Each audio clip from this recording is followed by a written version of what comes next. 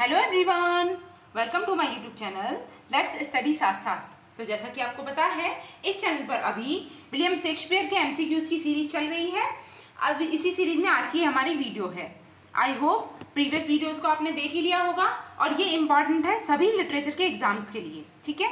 तो शुरू करते हैं फ़र्स्ट क्वेश्चन से। देखिए first question is source of measure for measure is तो मेजर फॉर मेजर जो शेक्सपियर का वर्क है ये आ, मतलब इसका सोर्स क्या है? कहाँ से लिया गया है? ऑप्शंस है Promos and Cassandra a play by the English author George Whetstone B is chronicles by Raphael Holinshed C is lips lives by Plutarch या फिर लाइव्स ऑफ़ पोएट तो इसका सोर्स बताना है, क्या सोर्स है इसका? मेजर फॉर मेजर के लिए। जैसे कि आप जानते हो कि शेक्सपियर के जितने भी हिस्ट्री प्लेज हैं, वो राफेल हॉलन शेप से हैं, ठीक है?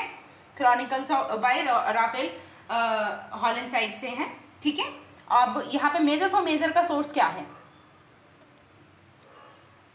सोचिए आंसर कीजिए। यस मेजर फॉर मेजर के जो लिए जो सोर्स है वो है Promos and Cassandra a play by the English author George Whetstone ये एक प्ले है प्रोमो एंड कैशेंड्रा जो एक इंग्लिश ऑथर जॉर्ज विट्समैन ने लिखा है विट्स विट्सस्टॉन ने लिखा है और इसी से शेक्सपियर ने ये uh, मतलब इसकी थीम ली है basically now moving to the next question second question is the sources of Henry eight Henry eight का क्या सोर्स है? Options are Lives of uh, Poets, Lives of Plutarch. Option C is Chronicles by Raphael Holinshed and Book of Martyrs by the English author John Fox. Option D is none of these. What should be the correct answer? जैसे कि आप देख पा रहे होगे कि Henry eighth जो है ना ये मतलब किसी एक पर्टिकुलर बुक का सोर्स नहीं है जगह जगह से थीम्स हैं ठीक है तो इसमें जो करेक्ट आंसर होगा वो है option C chronicles by Raphael Holinshed and the book of martyrs by the English author John Foxe ठीक है? Option number C is the correct answer now moving to the next question question third who wrote how many children had Lady Macbeth किसने लिखा है ये work how many children had Lady Macbeth an essay in the theory and practice of Shakespeare criticism 1933 बताइए who is the writer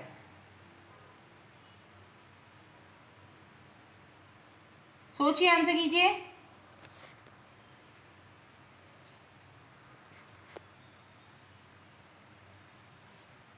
Options are A C Bradley Lionel Charles Knights Nahum Tate Allen Tate What should be the correct answer?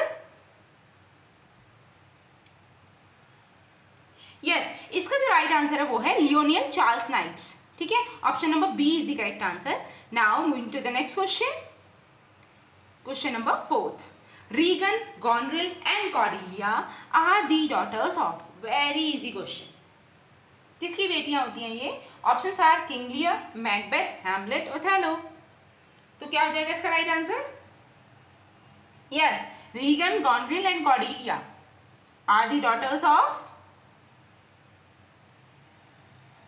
Yes, King Lear.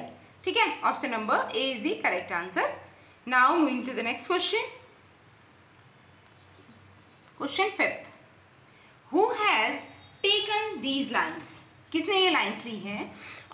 Lines है thou has nor youth nor age but as if we were and after dinner sleep dreaming on both from major for major as the epigraph for his uh, Gronation. देखिए ये lines जो हैं वो Measure for Measure से हैं ठीक है? अब ये लाइन किसने अपनी पोएम के लिए ली है? ये पूछा जा रहा है यहाँ पे और पोएम का नाम है ग्रोनेशन ठीक है? Options are Milton Thomas Gray Hardy या फिर टी एस लियट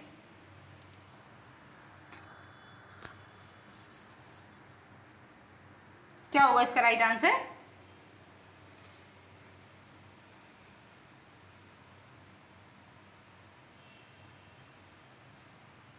लाइन्स हैं thou has nor youth nor age but as if we were and after dinner sleep dreaming on both yes ये lines जो हैं वो T S Eliot ने लिए ठीक है? Option number D is the correct answer now moving to the next question Ben Jonson writes, Soul of the age, the applause, delight, the wonder of our stage. He writes about. Ben Jonson किसके विषय में ये कहते हैं Soul of the age, the applause, delight, the wonder of our stage.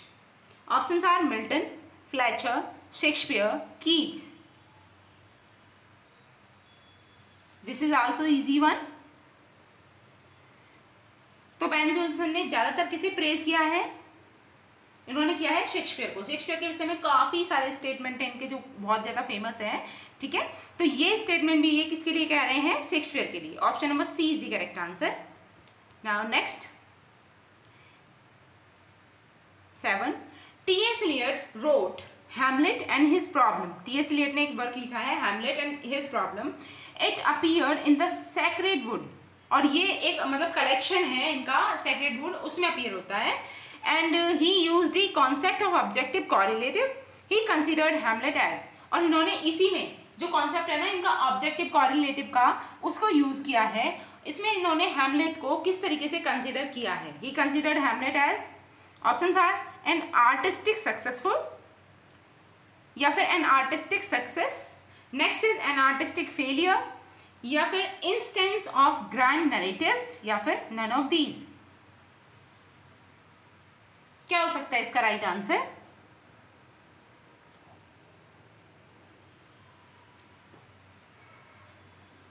सोचिए answer कीजिए। Hamlet and his problem इन्होंने Hamlet जो ये शेक्सपियर का वर्क है, इसको क्या कहा है?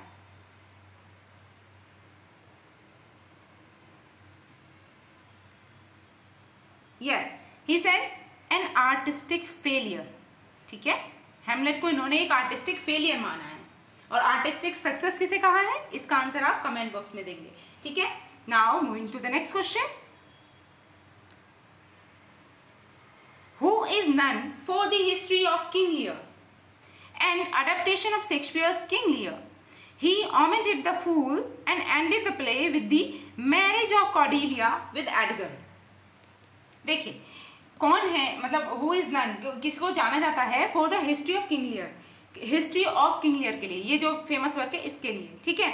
और इन्होंने ये एक अडेप्टेशन है ये वाला वर्क जो है वो शेक्सपियर के किंग लियर का एक अडेप्टेशन है। इन्होंने इसमें थोड़ी सी स्टोरी में चेंजेस कर दिए हैं बस ठीक है? किंग लियर की स्टोरी में। जैसे कि इन्होंने आ, फूल का जो कैरेक्टर उसको ऑमिट कर दिया है ठीक है? साथ ही इन्होंने जो एंडिंग है प्ले की वो मतलब आ, एक तरीके से ट्रेजिक एंडिंग ना करके हैप्पी एंडिंग कर दी है। इन्होंने क्या किया है? आ, लास्ट में मैरिज दिखाई है कॉर्डिलिया और एडगर की। ठीक है? ये कौन से राइटर हैं? ऑप्शन है Nahum Tate, Eliot, Allen Tate या फिर Pinter.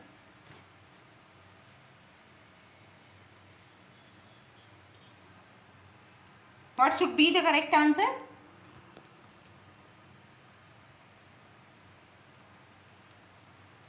सोचिए आंसर कीजिए, जिन्होंने इसकी हैप्पी एंडिंग दिखाई है किंग डियर की।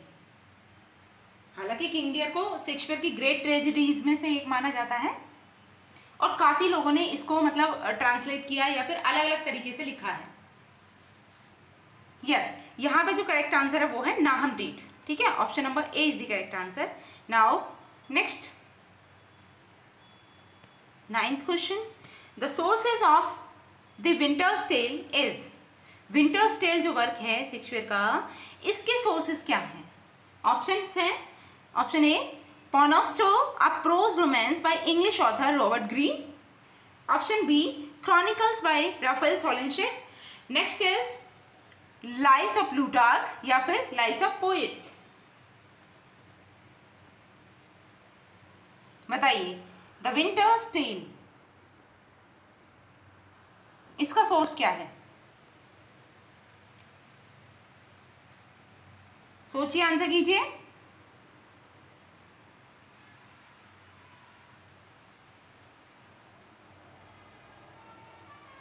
और इसे कट करके इसे पॉन्डोस्टो कर लीजिए, ठीक है?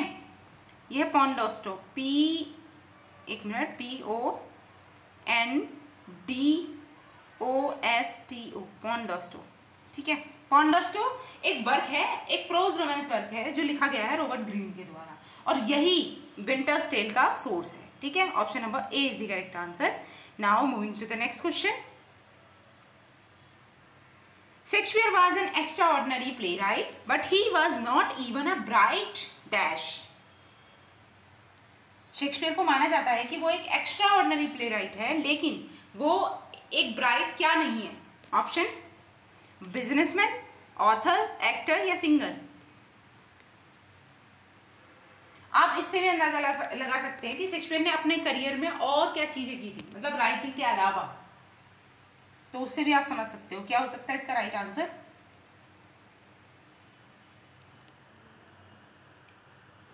सोचिए आंसर कीजिए।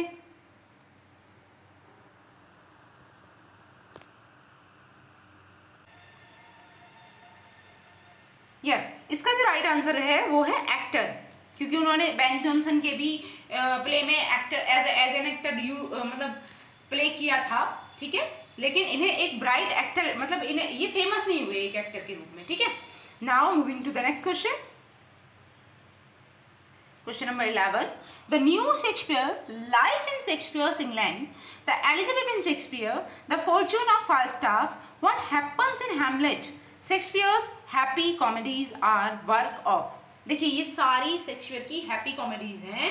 मतलब शेक्सपियर के विषय में हैं जो कॉमेडीज हैं। कौन कौन सी हैं? The new Shakespeare Life in Shakespeare's England. Next is the Elizabethan Shakespeare. Next is the Fortune of Falstaff.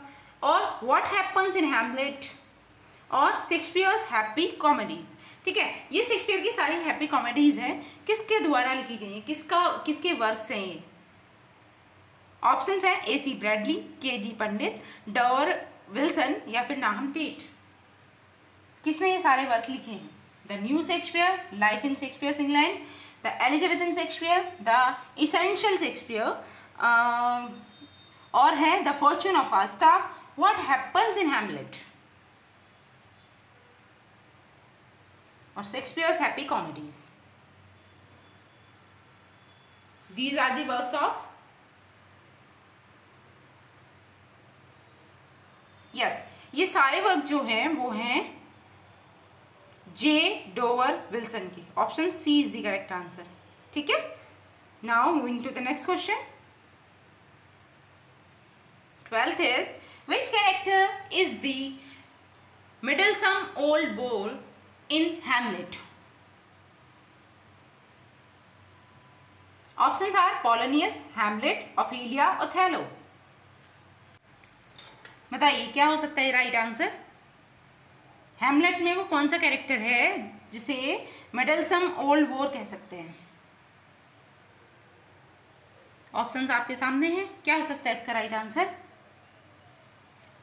Yes इसका जो करेक्ट आंसर वो है Polonius option A is the correct answer now moving to the next question thirteenth the ambition is found in ambition जो theme है एक तरीके से ambition की, वो किस वर्ग में हमें देखने को मिलती है या किस कैरेक्टर में? देखिए मैकबेथ है हेमलेट है सीजर है ओथेलो है, ये सारे कैरेक्टर के नेम है। तो एम्बिशन बेसिकली किसका मेन मोटिव है या एम्बिशन से कौन जाना जाता है, कौन सा कैरेक्टर है वो?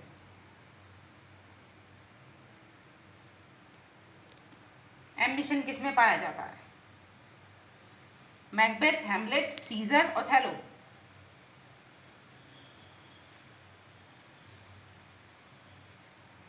देखिए द मोस्ट एम्बिशियस कैरेक्टर अगर किसी को कहा गया है तो वो है Macbeth option number A is the right answer now moving to the next question fourteenth philosophic meditation is present in जो फिलोसॉफिक मेडिटेशन है, वो किसमें रिप्रेजेंट की गई है? ऑप्शन है मैकबेथ ओथेलो लियर यानी किंग लियर या फिर हैमलेट फिलोसॉफिक मेडिटेशन सोचिए आंसर कीजिए।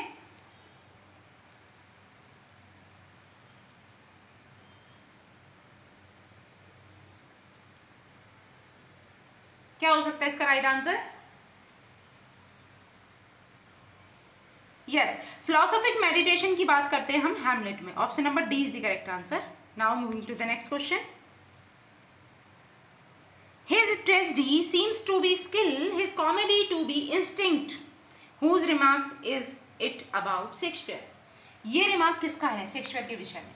His tragedy seems to be skill his comedy to be instinct option are doctor Johnson Ben Jonson Arnold या फिर जॉर्ज गॉर्डन क्या होना चाहिए इसका right answer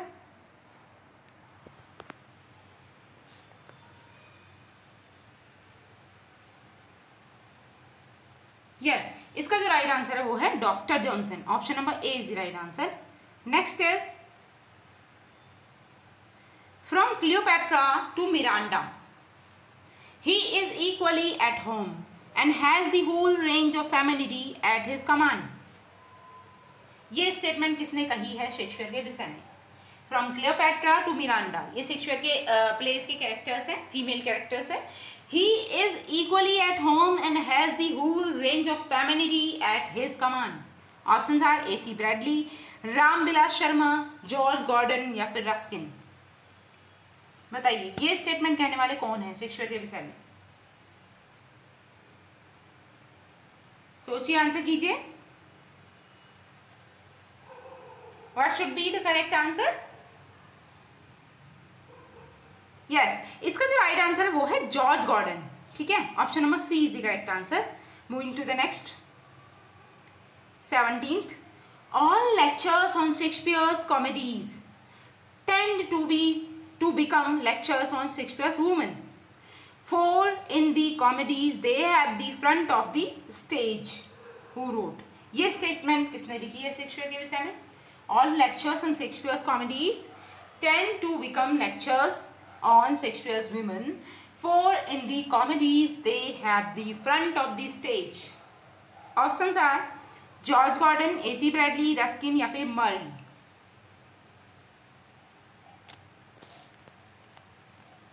What should be the correct answer?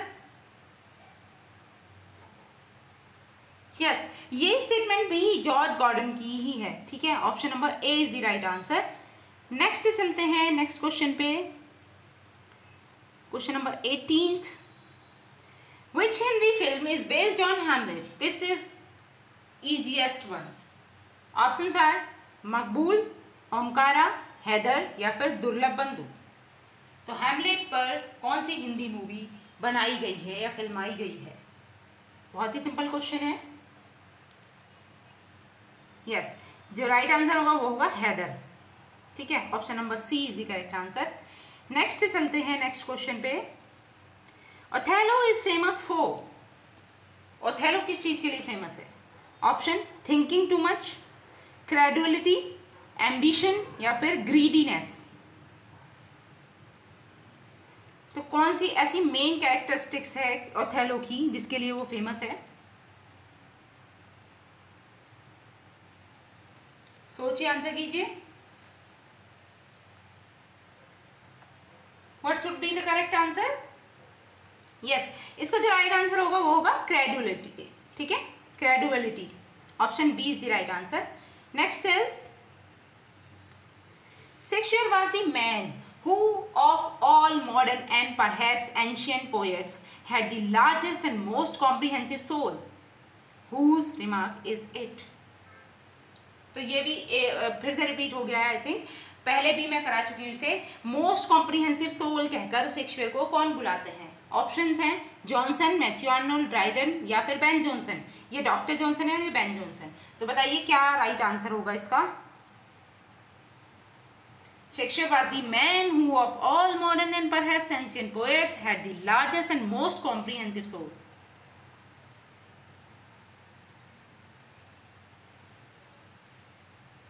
Whose remark is it?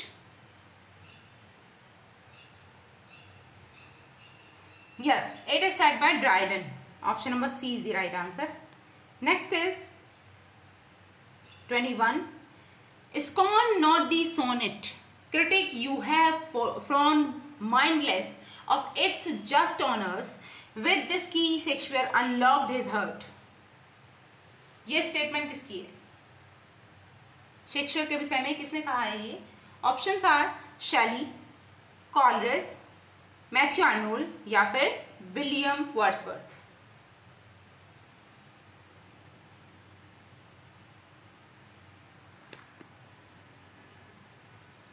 सोचिए, answer कीजिए। ये Shakespeare के विषय में कहने वाले कौन है? Scorn not the sonnet critic you have frowned mindless of its just honours with this key Shakespeare unlocked his heart और यहाँ पे की से क्या मतलब है? की से मतलब है यहाँ पे सोनेट से, ठीक है? उनके जो सोनेट्स हैं उनसे। तो इसका जो राइट आंसर है, वो है विलियम वर्ड्सवर्थ ठीक है? ये स्टेटमेंट विलियम वर्ड्सवर्थ की है। नेक्स्ट चलते हैं next question 22 Hamlet's experience. Simply could not have happened to a plumber. Who said? कौन कहता है ये हेमलेट के विषय में? Could not have happen to a plumber option are G B Shaw W B Yeats T S Eliot या फिर Milton क्या हो सकता है इसका राइट आंसर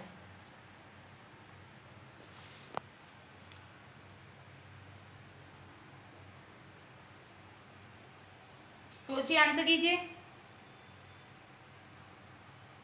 यस इसका जो राइट आंसर होगा वो है G B Shaw George Bernard Shaw option number A is the right answer next is twenty three the remarkable thing about Shakespeare is that he is really very good in spite of all people who say he is very good whose quote is this ये किसकी quotation है?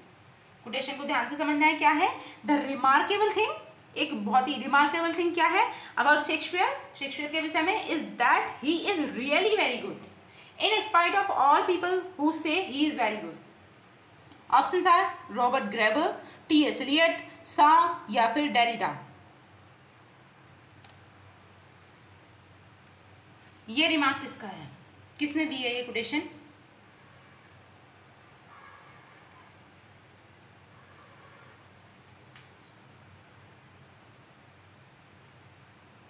ये Robert Graves है, ठीक है? और cut कर देते हैं। क्या होगा इसका राइट आंसर यस इसका जो राइट आंसर है वो है Robert Graves option number A is the right answer moving to the next question twenty fourth who called Shakespeare a mellifluous Shakespeare किसने कहा है शेक्सपियर को? अ मैलीफ्लुअस शेक्सपियर बताइए। Options are Thomas Heywood Arnold Coleridge या फिर वेटमैन।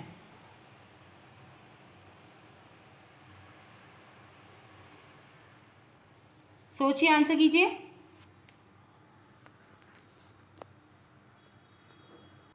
क्या हो सकता है इसका right answer?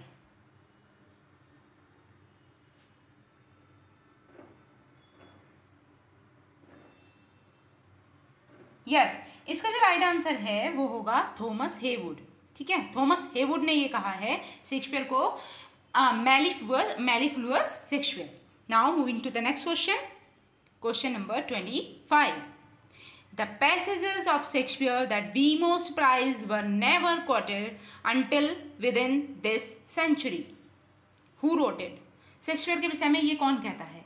The passages of Shakespeare that we most prize were never quoted until within this century option are Whitman Dickinson Emerson या फिर फ्रॉस्ट बताइए, क्या होगा इसका राइट आंसर सोचिए आंसर कीजिए। The passages of Shakespeare that we most prize were never quoted within this century yes ये कहा है शेक्सपियर के विषय में? इमर्सन ने। ठीक है? Option number C is the right answer next question twenty six he breath upon dead bodies and brought them into life not sequent centuries could hit orbit and sum of Shakespeare's wit who said ये statement बहुत ही famous है, अक्सर पूछी गई है। In fact UP T G T P G में कई बार आई है। तो इसे आप देख सकते हो। He breath upon dead bodies and brought them into life ठीक है और फिगर ऑफ़ स्पीच में भी पूछ लिया जाता है इसमें ठीक है कौन सी फिगर ऑफ़ स्पीच है बताइए ऑप्शंस हैं डिकेंसन फ्रॉस्ट एमरसन या फिर वेटमैन किसकी स्टेटमेंट है ये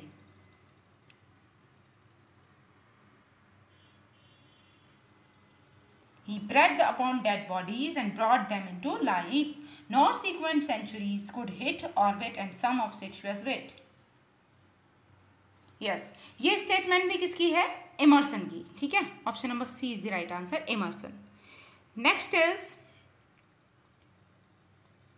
27 we can say of Shakespeare that never has a man turn so little knowledge to such great account whose remark it ये रिमार्क किसका है whose remark is it we can say of Shakespeare that never has a man turn so little knowledge to such great account options are F R Leavis Derrida T S Eliot या फिर lamb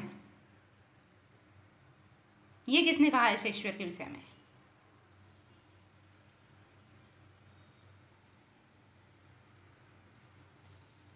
सोचिए answer कीजिए।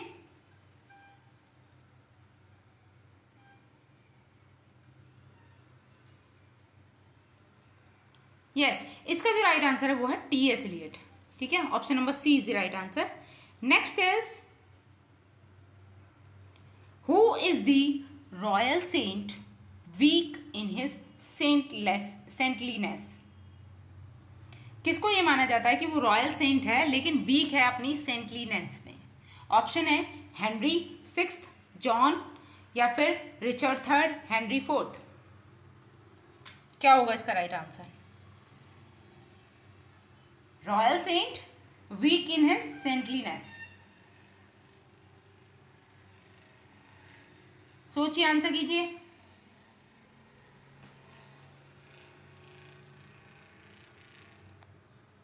क्या हो सकता है इसका right answer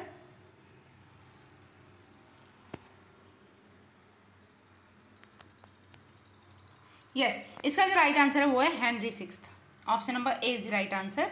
Henry six को कहा जाता है कि वो रॉयल सेंट हैं, लेकिन वीक है अपनी सेंटलीनेस में। Next, twenty ninth who is the royal criminal strong in his crime अब इनमें से किसको रॉयल क्रिमिनल माना जाता है? जो अपने क्राइम में स्ट्रॉन्ग है। Option are John Richard third Henry six या फिर हेनरी फोर्थ इसका करेक्ट आंसर क्या होगा? Royal criminal strong in his crime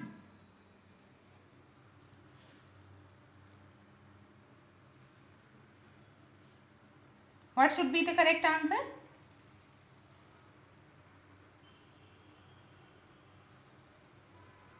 Yes इसका जो राइट आंसर है वो है रिचर्ड थर्ड ठीक है? Option number B is the right answer next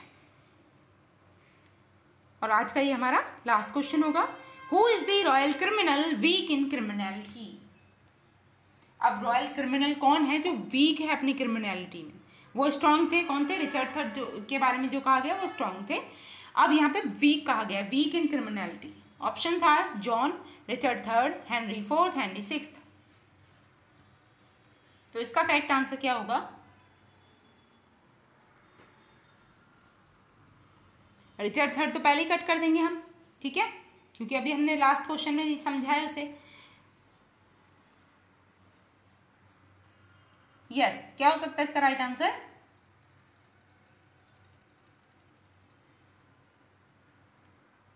the right answer is John option number A is the right answer ठीक है? तो आज के लिए हम इतना ही रखेंगे। आई होप मेरी ये वीडियो आपको अच्छी लगी होगी। और अगर वीडियो अच्छी लगी है तो आपको क्या करना है? आपको लाइक करना है शेयर करना है। और अगर चैनल पर नए हैं तो प्लीज़ चैनल को सब्सक्राइब कर लीजिए। इसी तरीके की इंटरेस्टिंग वीडियो पाने के लिए। और साथ ही जुड़े रहिए चैनल के साथ। डेली हम एम की सीरीज़ कर ही रहे हैं प्रैक्टिस कर रहे हैं। आई होप आपका, आपकी जो लर्निंग है, वो अच्छे तरीके से हो पा रही होगी। एंड अब हम नेक्स्ट वीडियो लेकर आएँगे कल। तब तक के लिए thanks for watching keep learning and keep supporting me thank you